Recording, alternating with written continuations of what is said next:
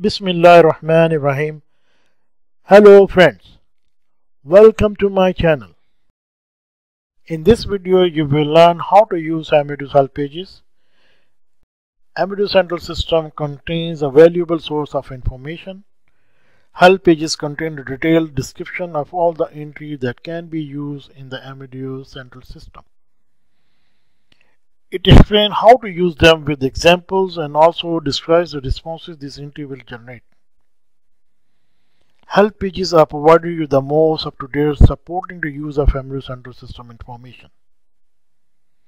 It is immediately updated as soon as functional enhancement is made to the system. To display Amadeus Help page, HE enter. This display screen to the help pages, also known as HE pages. It shows you how to search for the information you need. Let's get some help about sign in. Enter HE sign.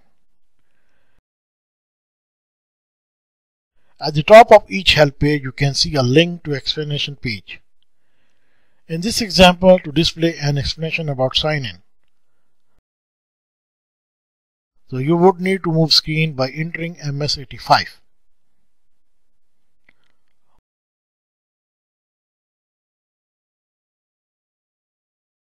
On the second part of the screen, example of the potential transaction entries are displayed. You can use ms command to move to specific one and enter md to move down the page. Down the page you can find related topics including system warning messages. To display the warning messages, enter MS526. This is useful when you want to understand what caused a particular error message. If you make a mistake in an entry and system throw an error message. For example, when you enter the name transaction and system throw message check the possible solution for the last enter transaction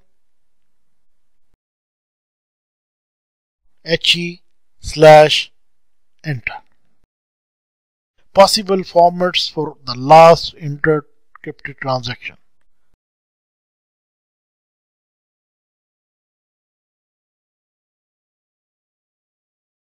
For example, to check the single passenger name element, enter ms move to screen 127.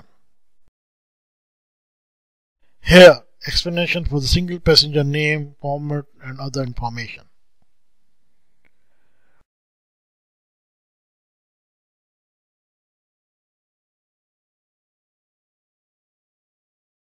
Other useful help pages regarding different cryptic steps performed in Amadeus, it known as steps index.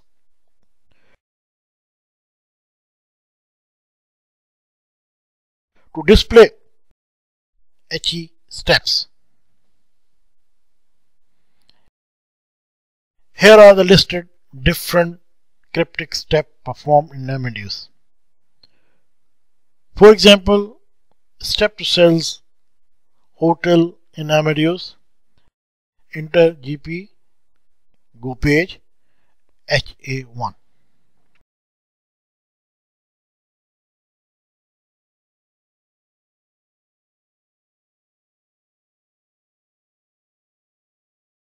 And that's it. You have just learned how to access and navigate within help page.